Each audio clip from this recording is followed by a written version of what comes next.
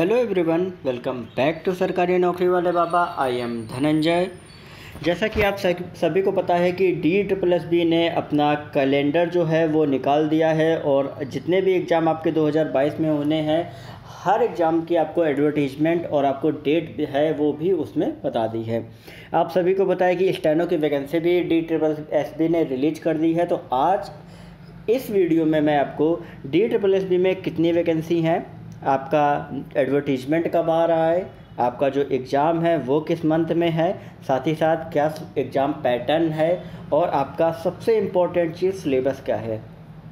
देखिए, आप सभी में बहुत से ऐसे स्टूडेंट हैं जिन्होंने स्टेनो सीख रखी, जो स्टेनो की तैयारी कर रहे हैं। तो उनके लिए एक चीज़ मैं बता दूँ कि जिन्होंने स्टेनो सीख रखी होती, जिनको अच्छी आती, वो कहीं ना कहीं रिटर्न में कमज़ोर पड़ जाते हैं। तो भाई जितने भी स्टूडेंट्स जिनको रिटर्न में प्रॉब्लम है, वो अभी से रिटर्न की तैयारी करनी स्टार्ट कर दीजिए, क्योंकि एग्ज़ाम आपका 2022 में हर हाल में होने, हो जाएगा। आपके पास बिल्कुल भी समय नहीं बचेगा। और इस बार का जो 2021 का आपने एग्ज़ाम दिया होगा तो आपको बहुत सारी हकीकत समझ में आ गई होगी। तो आपसे मेरी रिक्वेस्ट है कि अगर आपको सिलेक्शन पाना है, अगर आप मेरी बात मानते हो, सुनते हो तो प्लीज़ अभी से तैयारी करनी स्टार्ट कर दीजिए, अभी से पढ़ना स्टार्ट कर दीजिए, तभी आप फाइनली सिलेक्ट हो पाओगे। ठीक है? तो ध्यान से इस वीडियो को पूरा देखें। साथ ही साथ इस चैनल को सब्सक्राइब करें, बेल नोटिफिकेशन आइकन को दबाएँ। देखिए डी ट्रिपल एस बी की जितनी भी अपडेट्स होती हैं, वो आपको इस चैनल में टाइम टू टाइम मिलती रहेंगी। तो प्लीज़ चैनल को सब्सक्राइब करें और वीडियो को लाइक ज़रूर करें। देखिए, आप में से बहुत से ऐसे स्टूडेंट होते हैं जो वीडियो को लाइक नहीं करते। तो प्लीज़ लाइक ज़रूर करें, शेयर करें, जितना जितना ज़्यादा हो सके अपने ग्रुप में, अपने कलीग्स में, ठीक है? तो चलते हैं अपने वीडियो की तरफ़। जैसा कि आप देख रहे हैं कि यहाँ पर जो वैकेंसी काउंट करी गई है, वो आपकी 220 वैकेंसी है। अभी तक डी ट्रिपल एस बी ने जितनी भी वैकेंसी रिलीज़ की हैं, उनमें टोटल काउंटिंग लगा के स्टेनो की 220 वैकेंसी हो रही हैं।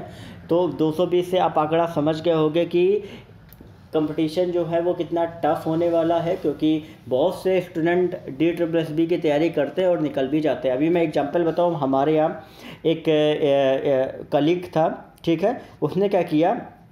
की पोस्टिंग जो थी वो पुणे में थी तो उसने एग्ज़ाम दिया डी ट्रिपल एस बी का और फाइनली जो है उसको आई ट्रेड एंड टैक्सेस में उसको दिल्ली में मिल गया। तो आप जैसा कि देख रहे हो कि जितने सेलेक्टेड एस्पिरेंट हैं, वो भी आजकल तैयारी कर रहे हैं और एग्ज़ाम निकाल रहे हैं।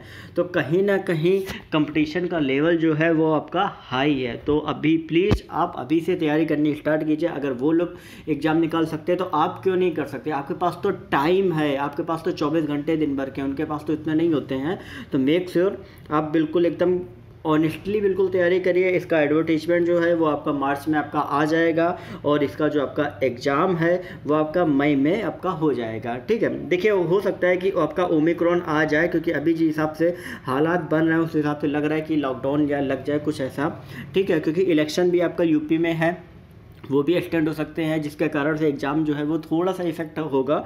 लेकिन अगर एग्ज़ाम मई में होता है तो आपके पास सिर्फ़ अभी से चार महीने हैं, जनवरी, फरवरी, मार्च, अप्रैल। तो इन चार महीनों में आपको रिटर्न में जितना हो सकता है, उतनी तैयारी करनी है। अपने आप को ज़्यादा से ज़्यादा फोकस्ड रखना है। पढ़ाई के प्रति बिल्कुल भी आपको सोशल मीडिया से इंटरेक्ट नहीं करना है। आपको जो भी अपडेट्स चाहिए, वो आप यूट्यूब पर आप जैसे ही जाएँगे, वहाँ पर नीचे साइड आप देखेंगे, यहाँ पर सब्सक्रिप्शन का थर्ड नंबर पर आप कॉलम आएगा, जैसे ही वहाँ उस पर क्लिक करेंगे, अगर आपने मेरा जो चैनल है सब्सक्राइब किया बेल नोटिफिकेशन दबाया तो आपको वहाँ सारी अपडेट्स मिल जाएँगी।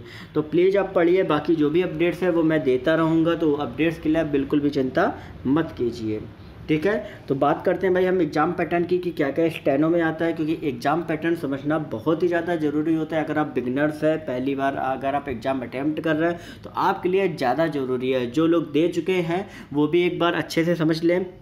इसमें आपका जनरल अवेयरनेस का आपका टोटल 40 क्वेश्चन आते हैं टोटल 40 मार्क्स के होते हैं रीजनिंग के आपके 40 मार्क्स 40 क्वेश्चंस होते हैं 40 मार्क्स के अर्थमेटिक के आपके टोटल 40 क्वेश्चंस होते हैं 40 मार्क्स के हिंदी लैंग्वेज में 40 होते हैं मार्क्स 40 इंग्लिश कंप्रहेंशन में 40 और इसमें भी 40 ठीक है? तो आप जैसा कि देख रहे हो कि टोटल जो ऊपर पेपर है, वो आपका है, आपका टू का आपका पेपर आता है, ठीक है? टोटल आप देख रहे होंगे कि पाँच सब्जेक्ट दिए गए हैं। तो टू हंड्रेड का आपका पेपर आता है। अब इन टू हंड्रेड में आपको स्कोर किस प्रकार से करना है?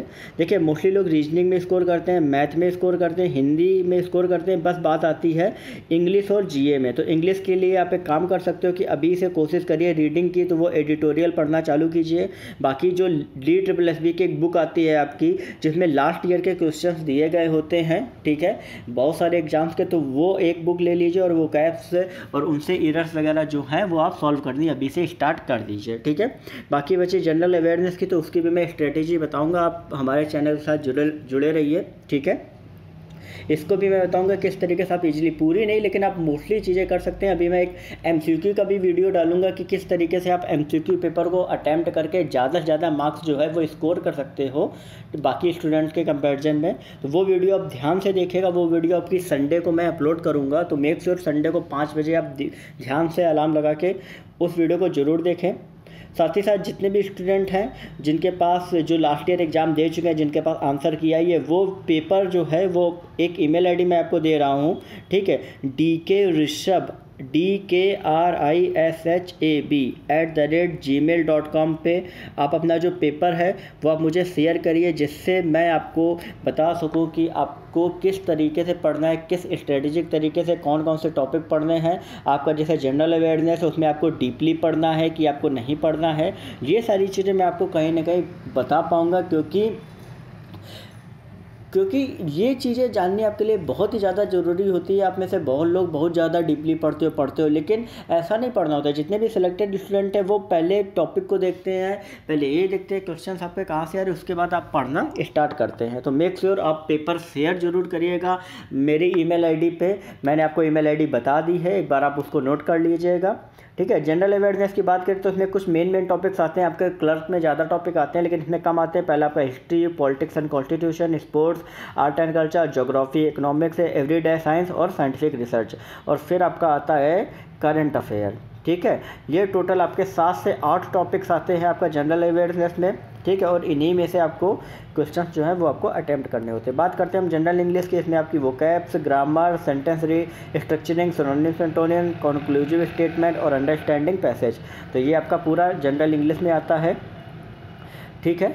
फिर हम नेक्स्ट पढ़ते हैं कि भाई रीजनिंग में हमारा क्या क्या आता है? तो analogy similarities and differences space visualization problem solving analysis judgement visual memory discrimination observation and relationship concept arithmetical reasoning तो ये टोटल लगभग नौ से दस ऐसे टॉपिक्स आते हैं जो आपके रीजनिंग में आते हैं। रीजनिंग तो ऑलमोस्ट आपको आती होगी। लेकिन आप ध्यान रखिए, आने और full out of full marks लाने में डिफरेंस है। देखिए रीजनिंग तो सबको आती है, लेकिन आप में से कितने ऐसे जो full out of full marks ला पाते हैं? आप कमेंट सेक्शन में मुझे बताइए कि आप में से कितने लोग ऐसे जो full out of full marks लाते हैं? अगर आप ला, लाते हैं तो आप मुझे लाइक का, आप मुझे कमेंट सेक्शन में थंबे बना के भेजिए। नहीं ला पाते हैं तो आप मुझे डिसलाइक आप मुझे भेजिए कि जितने कितने ऐसे लोग हैं कमेंट सेक्शन में, मुझे ऐसा स्टिकर्स मुझे भेजिए कमेंट सेक्शन में कि कितने लोग नहीं ला पाते हैं। तो मेक श्योर आप ऐसी तैयारी करिए कि आप कोशिश करिए कि आप ज़्यादा से ज़्यादा मार्क्स जो हैं वो आप स्टेनोग्राफर में स्कोर करें, वो तभी कर पाएँगे जब हर सब्जेक्ट को अच्छे से प्रिपेयर करेंगे। बात करते हैं मैथ की तो इसमें simplification, decimal, data interpretation data interpretation में आपका क्या आता है? जो आपका ग्राफ वगैरह आता है, ठीक है, आंकड़े दिए होते हैं, उनको टैली करके बताना होता है। फिर आपका fraction L C M S C M ratio proportion percentage, average, profit and loss, discount, simple interest and compound interest, time, work, distance, table and graph. ठीक है तो ये जितने भी टॉपिक्स हैं, वो आपको सिर्फ़ एक ही बुक में मिल जाएँगे और वो है आपकी class notes of Rakesh Yadav ठीक है? इसमें आपको बहुत ऐस, बहुत ऐसी ट्रिक्स मिलेंगी जिनसे आप बहुत ही अच्छे से इन सारे क्वेश्चन को आप सॉल्व कर सकते हो, वो भी कम समय में। तो आप वो बुक अभी से खरीद के प्रैक्टिस करिए। कम से कम एग्ज़ाम से पहले आप तीन से चार बार उस बुक को लगा लीजिए, ठीक है? बात करते हैं हिंदी लैंग्वेज एंड कंप्रहेंशन की। तो इसमें वोकैब्स ग्रामर सेंटेंस स्ट्रक्चरिंग और सिनोनियस एंटोनियस ठीक है? तो ये चार चीज़ें आपकी आती हैं तो इनके लिए आप ध्यान से कोई भी हिंदी की बुक ले आइएगा, उसको अभी से पढ़ना स्टार्ट कीजिएगा। नहीं तो एक डी ट्रिपल एस बी की आपकी हिंदी की एक अलग से बुक आती है, उसमें अलग अलग सेट दिए होते हैं। आप उसको चाहे तो उसको भी लगा सकते हैं। तो ये जो मैंने आपको बताया है, ये पूरा स्टेनोग्राफर का आपका पूरा सिलेबस मैंने आपको बताया है। जो स्टेनोग्राफर में आपका आता है तो आप में से जितने भी लोग तैयारी कर रहे हैं स्टेनोग्राफर की ठीक है, या जो पिछले स्टेनोग्राफर का रिज़ल्ट का वेट कर रहे हैं या स्किल जिन्होंने दिया है, वो भी अभी से तैयारी करनी स्टार्ट कर दीजिए। अगर आपको कोई भी डाउट है, आप मुझे कमेंट सेक्शन में लिख के पूछिए, मैं आपको जितना हो सकता है उतना हेल्प करूँगा। साथ ही साथ चैनल को सब्सक्राइब करें बेल नोटिफिकेशन ज़रूर दबाएँ, क्योंकि आगे आने वाली अपडेट्स आपको तभी मिलेंगे जब बेल नोटिफिकेशन आपका ऑन होगा। और एक चीज़ मैं यहाँ पर एक अपडेट देता हूँ। कि हमारे टेलीग्राम चैनल को ज्वाइन करिए, वहाँ पर आपको बहुत से ऐसे सिलेक्टेड एस्पिरेंट मिलेंगे जो आपको गाइड कर सकेंगे, ठीक है? अगर आपको गाइडेंस की ज़रूरत है तो वहाँ आपको हर एक स्टूडेंट आपको गाइड कर सकता है, क्योंकि वो ऑलरेडी सेलेक्टेड है।